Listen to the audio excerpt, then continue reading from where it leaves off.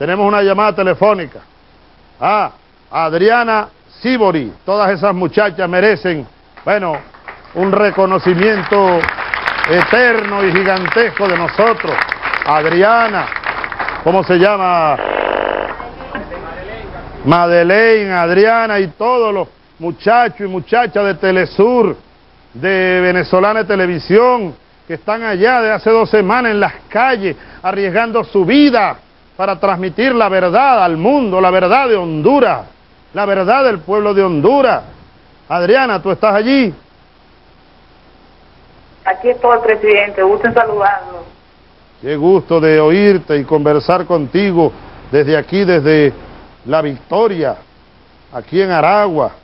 ¿Y cuál Mire, es? le- Dime. Le digo que se, se puede caer esta llamada en cualquier momento porque acá se cortan las comunicaciones, los teléfonos nos están escuchando todo el tiempo. Así que si se corta, volvemos a intentarlo. Correcto. Entonces dime cuál es la situación que ustedes están viviendo. Ayer, ayer por la noche eh, llegaron al hotel donde estábamos policías, policías unos encapuchados, muchos con armas, se llevaron a parte de nuestro equipo, parte de BTV, parte de Telesur, estuvieron secuestrados varias horas, los amenazaron, le decían, los- les decían a los chicos que no fuéramos de aquí, ya es la segunda vez que nos hacen, presidente, esto, que no siguiéramos transmitiendo, que nos podían matar, uno de ellos dijo también que si sacaron a presidente como lo sacaron, imagínense lo que se puede hacer.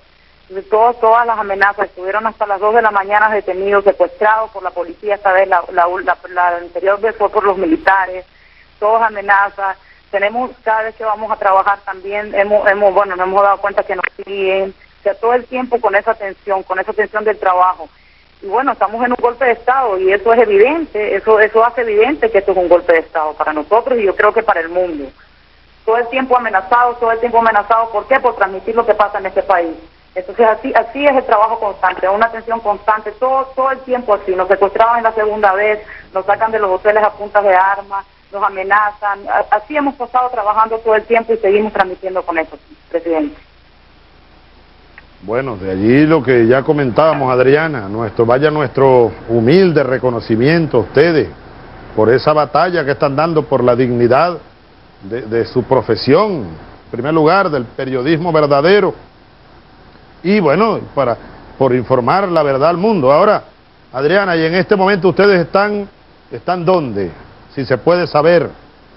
Mire, en este momento, en este momento estamos en el hotel. En la- ellos nos dejaron ayer en la noche todo el hotel custodiado por policías, no nos dejaban salir.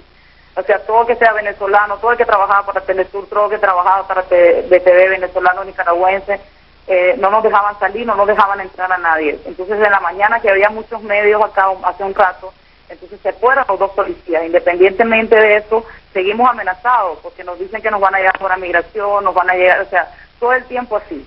Entonces la policía eh, nos dejó, re- o sea, nos dejó, nos cerró el hotel sin poder salir, sin poder salir de ningún lado y sin poder entrar a ningún lado. Hasta que vieron a los demás medios, hasta que vinieron personas de derechos humanos hasta acá, entonces ahí ellos se fueron callados. Independientemente, también vimos a policías vestidos de civil por aquí adentro por el lobby. O ahora no lo ven, presidente. Bueno, Adriana, por favor, yo te ruego que tengan ustedes muchas precauciones. Ustedes saben desenvolverse. Yo te he visto a ti. Tú eres una campeona en la calle con ese micrófono, con el pueblo, entrevistando al pueblo, dándole el pecho a los golpistas, a los gorilas. Es una tarea eh, heroica. No estoy exagerando. Ustedes son héroes y heroínas y así los reconocemos. Pero bueno, cuídense, cuídense, que no los queremos mártires, no los queremos mártires. Eh, hagan todo lo que tengan que hacer. Allí está nuestra embajada, aun cuando eh, decidimos retirar el embajador, pues está nuestra embajada con un personal y estamos en pleno contacto para hacer lo que haya que hacer. Yo denuncio al gobierno gorila de Honduras, al señor Goriletti y a todos los que le apoyan, al alto mando militar y policial de Honduras, si algo llegara a pasarle, bueno, a los periodistas de Telesur, camarógrafo, personal que con ellos trabaja, labora, a los de Venezolana de Televisión, también. Se hacen responsables, ¿eh? Se hacen responsables. Adriana, recibe un beso, un abrazo, y yo pues estaré en contacto con ustedes, en contacto con, con Gracias, presidente. por distintas vías, y sigan ustedes, a pesar de las dificultades, acompañando a ese pueblo como ustedes lo saben hacer tú, la Madeleine y todo el equipo, Adriana. Gracias, presidente. Así estaremos.